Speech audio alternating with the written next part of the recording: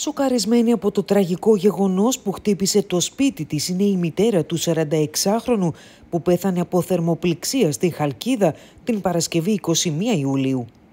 Μιλώντας στο eviaonline.gr, η μητέρα του 46χρονου ανέφερε πως ο γιος της δούλευε σε σουβλατζίδικο της περιοχής. Όταν γύρισε από τη δουλειά, έδειξε αμέσως πως δεν ήταν καλά και επικοινώνησε με γιατρό. Τους είπε να του βάλουν πετσέτα στο πρόσωπο και να τον πάνε αμέσως στο νοσοκομείο. Όπως είπε η μητέρα του, έβγαζε αίμα από το στόμα και δεν επικοινωνούσε με το περιβάλλον.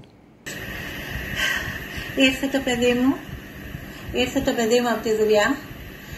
Πού δούλευε; Ε, δούλευε σε ένα σφυλατζίδικο δεν λέω Με το ποδήλατό του πήγαινε, με μου το είπατε. ποδήλατο, ναι. Έκανε διανομή με το ποδηλατάκι του. Mm-hmm. Δουλεύει εκεί στο σουβλατζίδικο. Και ήρθε το παιδί με το...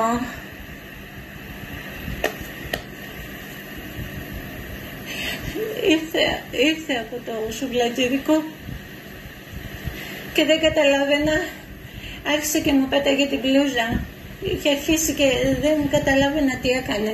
Μου πέταγε την πλούζα. Λέω παιδάκι μου τι έχεις, δεν μπορούσε να μιλήσει. Δεν μιλούσε. Και παίρνουμε τον κύριο Λεωνάρδο και λέει μάλλον υποθερμία. Αλλά τροχάδι... Θερμοπληξία. Θερμοπληξία. Ε, ε, τροχάδι να το πάτε στο νοσοκομείο. Βάλτε του πετσέτα στο μέτωπο και πηγαίνετε στο νοσοκομείο. Καλέσαμε το ασθενοφόρο, αλλά μέχρι να έρθει το παιδί μου δεν καταλάβαινε τίποτα. Έτρεμε. Έτρεμε το παιδί.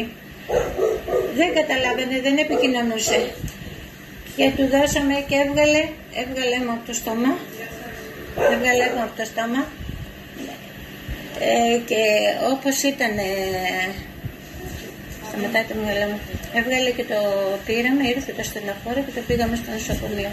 Παθαίνει την πρώτη καρδιακή ανακοπή και μετά το επαναφέρουμε και δεύτερη και τελείωσε. Αυτό ήταν. Δεν πρόλαβε τίποτα το παιδάκι μας. Εκείνη την ημέρα εργαζόταν; Εργαζόταν. Εργαζόταν. Μάλιστα. Στο σουλατζίδικο. Εργαζόταν.